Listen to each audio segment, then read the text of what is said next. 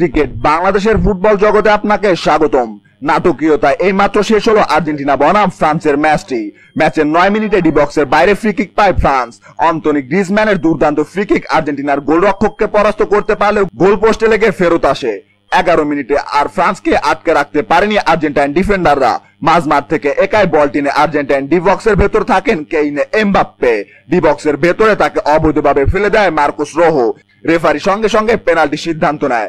Spot kick থেকে ফ্রান্সের হয়ে প্রথম গোলটি করেন অ্যান্টনি গ্রিজম্যান বিশ্বকাপের পেনাল্টি থেকে এটি তার দ্বিতীয় গোল।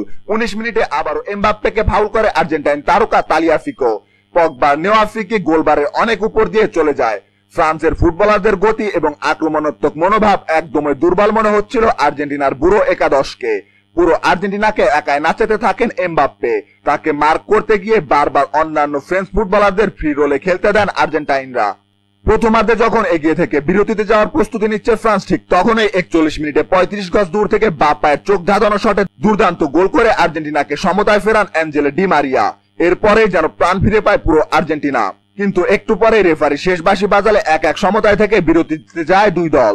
ম্যাচের স্কোর কার্ড। নব্বই মিনিটের খেলা শেষে ফলাফল আর্জেন্টিনা তিন, ফ্রান্স চার। ম্যাচের এগারো মিনিটে ডিবক্সে রোহর ফাউলে পেনাল্টি পায় ফ্রান্স। তেরো মিনিটে গ্রিজম্যানের গোলে ম্যাচের শুরুতে এগিয়ে যায় ফ্রান্স। এ পর্যন্ত ষাট পার্সেন্ট বল দখলে রেখেছিল আর্জেন্টিনা। ম্যাচের একচল্লিশ মিনিটে দুর্দান্ত শটে প্রথম গোল করেন ডি মারিয়া। ম্যাচের সাতচল্লিশ মিনিটে দ্বিতীয় গোল করেন মার্কেডো। ম্যাচের সাতান্ন মিনিটে ফ্রান্সের হয়ে দ্বিতীয় গোল করে দলকে সমতায় ফেরান বেনজামেড ম্যাচের বাইষট্টি ও আটষট্টি মিনিটে দুই গোল করে দলকে এগিয়ে দেয় ফ্রান্সের কাইলো এমবাপ্পে।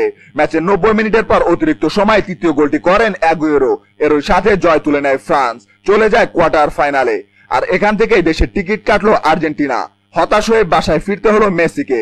ফুটবলের আরও খবর পেতে আমাদের চ্যানেলটি সাবস্ক্রাইব করে আমাদের সাথেই থাকুন। ধন্যবাদ।